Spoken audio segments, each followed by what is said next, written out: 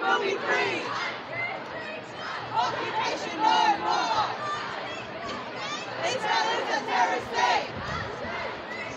Occupation no more. Israel is a terrorist state. Occupation no more. Israel is a terrorist